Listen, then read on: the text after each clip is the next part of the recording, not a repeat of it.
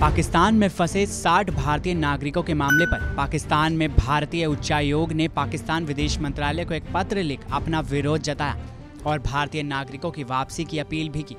ANI news agency के मुताबिक, पाकिस्तान में भारतीय उच्चायोग ने पाकिस्तान में फंसे 60 भारतीय नागरिकों की वापसी के लिए पाकिस्तान के विदेश मंत्री को एक पत्र जारी किया है। साथ ही उच्चायोग ने जल्द से जल्द उनको वापस भेजने की एक तारीख तय करने के लिए भी कहा है। आपको बता दें 23 नवंबर को पाकिस्तान से 221 भारतीय नागरिक भारत वापस लौटेंगे, जिनमें 75 ऐसे लोग भी शामिल होंगे, जो पिछले काफ़ी समय से पाकिस्तान में फंसे हुए थे। 17 नवंबर को पाकिस्तान में भारतीय उच्चायोग ने ये जानकारी दी। इस खबर को लेकर आपकी राय क्या है? कमेंट सेक्शन में हमें ज़रूर बताएँ। साथ ही देश दुनिया की तमाम बड़ी खबरों के लिए सब्सक्राइब करें टीवी नाइन भारतवर्ष।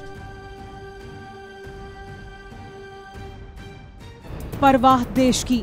सोमवार से शुक्रवार रात 10 बजे टीवी 9 भारतवर्ष पर।